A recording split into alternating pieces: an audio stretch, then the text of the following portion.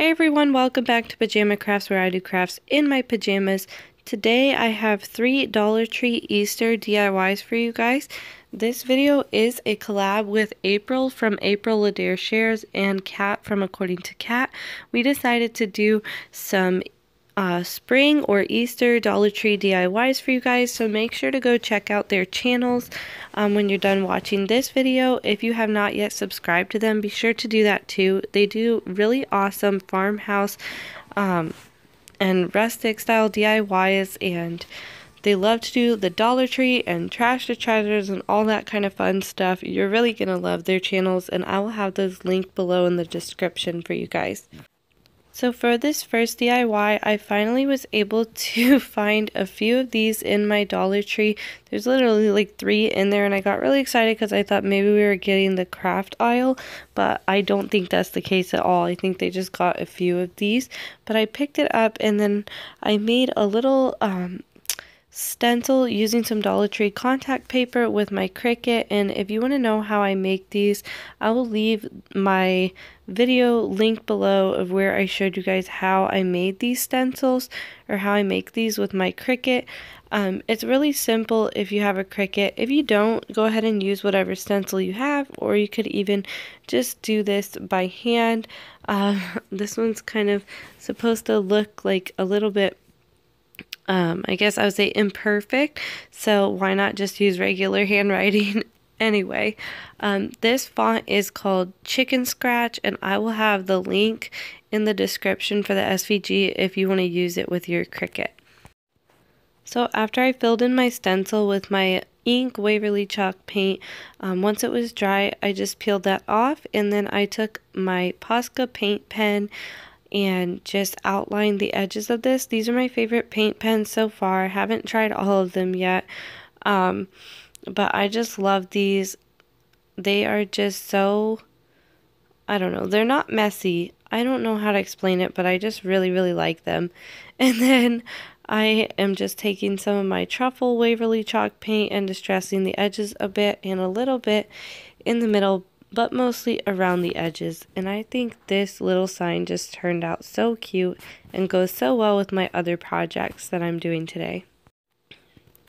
So for my next DIY, I just got one of those planters from Dollar Tree that are so popular and decided to put my own little spin on it. I used some ivory chalk paint. I like to use ivory when I'm doing more of a shabby chic look, especially with my old music paper. I think it just goes better than the pure white color.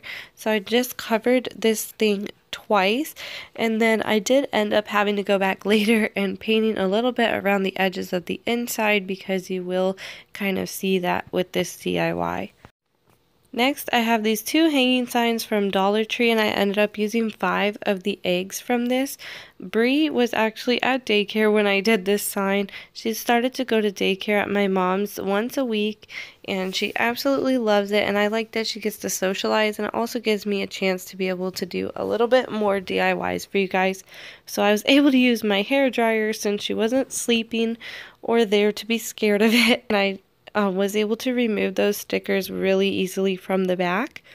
Then I'm just taking some old sheet music that I found um, at a thrift shop. If you guys have been watching my channel for very long, you know that I love using this all the time. And yes, my book is dwindling and I don't know what I'm going to do when it's gone. I'm going to have to find something, but I'm sure you guys could find something similar to this at a thrift shop. You can use regular book pages too, and you can coffee stain them or tea stain them to make them look old. There's a lot of different options. I'm just using some Mod Podge to attach these, and then I did cover the tops with Mod Podge too once they had dried a little bit. Next, after the Mod Podge had dried, I'm using my Distress ink from Hobby Lobby, and you can probably get this at other craft stores too. But I just like to put it a little bit around the edges and I rub it out with my finger. It is a little bit greasy, kind of like stains. You might want to use a glove if you don't want to have your hands stained for a little bit. Um, but I just like to kind of smear that around. It only works like this if you have used the Mod Podge. Then you can kind of smear it out. Um, otherwise, you would want to use a different method for distressing. Once the paint on my planter had dried, I just took some sandpapers over the letters and then a little bit more of that truffle Waverly chalk paint all around just dry brushing and with a very dry brush and um, just giving it a little bit more dimension and making it look older and more antique. And then this is where I realized I had to go back and paint a little bit on the inside because that part will be showing too a little bit. So after my eggs were all dry, I just took some twine from Dollar Tree and wrapped it around and tied a little bow on the front. I only did it on three of the eggs. You could do it on all of them or you could do lace or ribbons or flowers or whatever you like. This is just what I had on hand and I think it turned out cute. I got some of the Excelsior, I believe it's called, from Dollar Tree and just fluffed that up in my planter and arranged my eggs until they looked the way that I liked them and this one was done. Let me know in the comments if you guys are more into shabby chic or farmhouse decor and which videos you enjoy more. I'm still going to do some of both, but I like to know um, your feedback and what you guys are enjoying on my channel.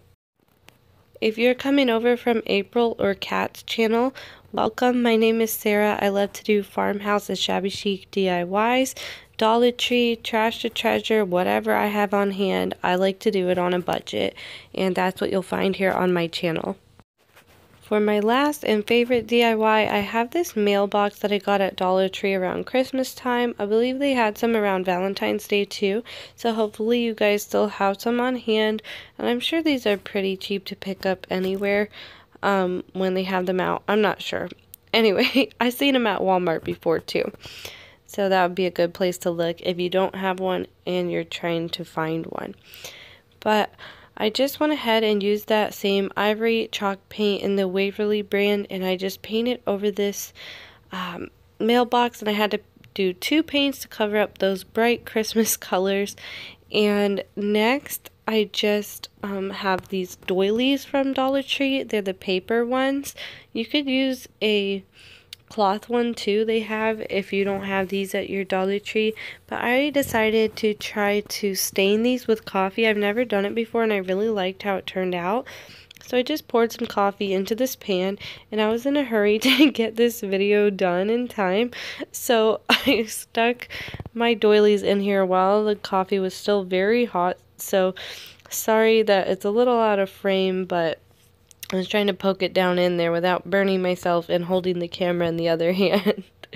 but basically what I did is just completely dip this under. I didn't leave it to soak or anything. I just dipped it in and then um, with Zach's bright idea because I wasn't sure if I just laid it on a plate or something if it would stick and then rip when I tried to take it off. So we put it on some plastic wrap and that worked mm-hmm. perfectly and it dried so easily and fast and you'll see what I did with it here in a little bit.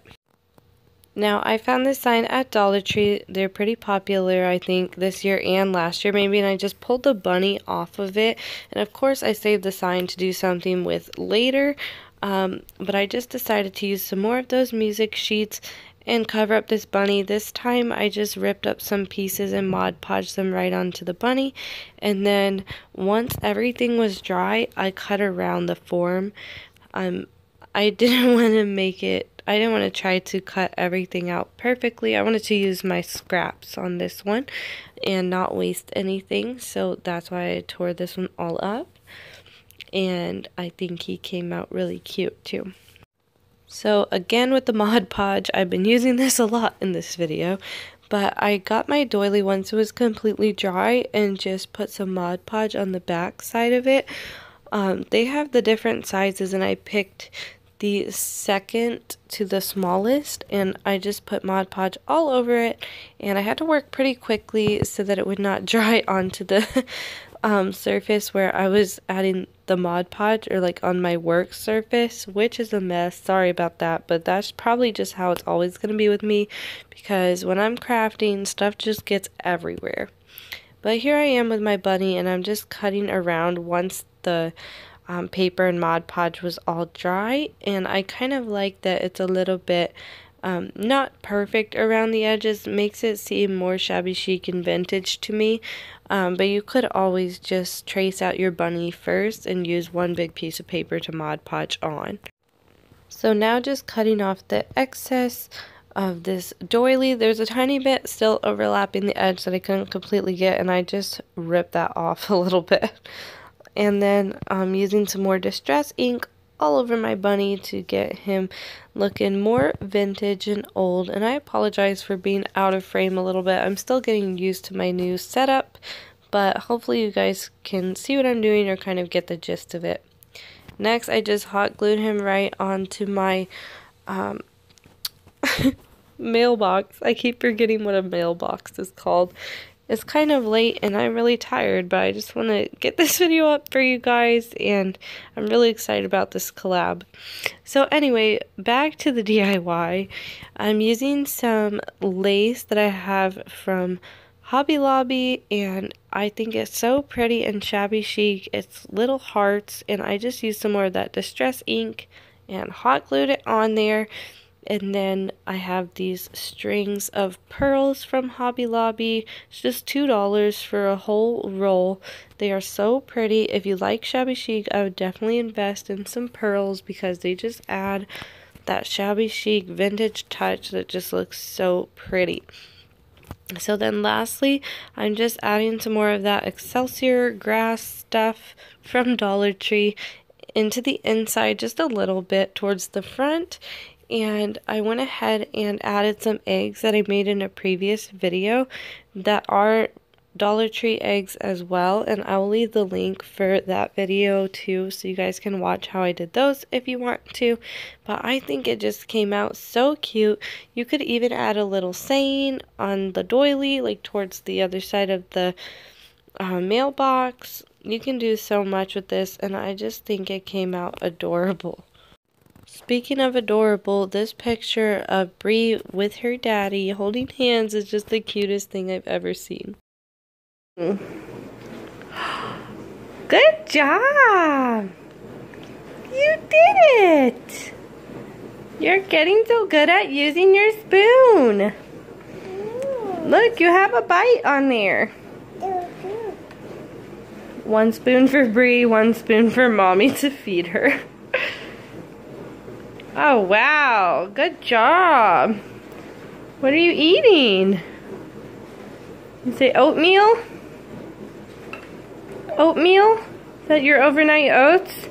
Oh, when you can't get it off, you gotta just resort to grabbing those blueberries right off the spoon. Huh? Thank you. Thank you. Okay. Let's finish up, huh? Mommy will help you. Yeah, I'll help you. Thank you so much for watching. If you enjoyed this video, please give it a thumbs up and subscribe to my channel for more DIYs like these. Don't forget to check out April and Kat's channels and see what they came up with. I can't wait to go watch. Thanks for watching and I will see you guys in the next one. Bye!